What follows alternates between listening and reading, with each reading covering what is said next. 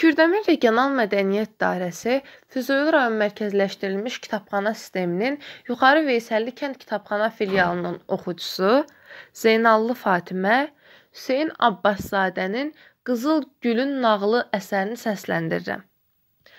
Biri var idi, biri yox idi. Keçmiş zamanlarda bir bağban yaşayırdı.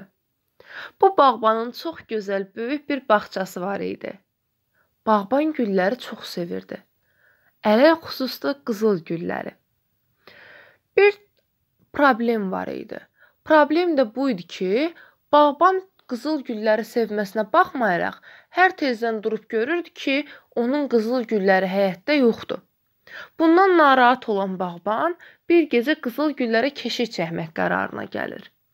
O gecə boyunca qızıl güllərin yanında dayanır və görür ki, bir div gəlib gecə vaxtı bağbanın qızıl güllərini dərib aparır.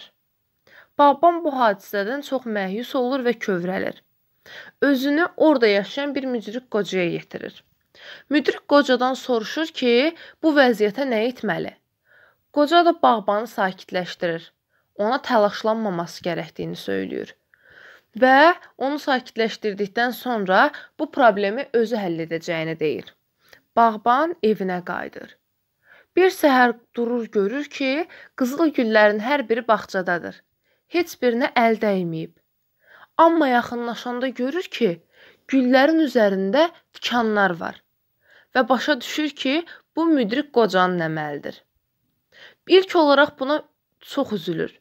Lakin sonra anlayır ki, tikanlar qızıl gülü qorumaq üçündür. Elə deyilir ki, o vaxtdan bəri də bütün qızıl güllərin üzəri tikanlı olur.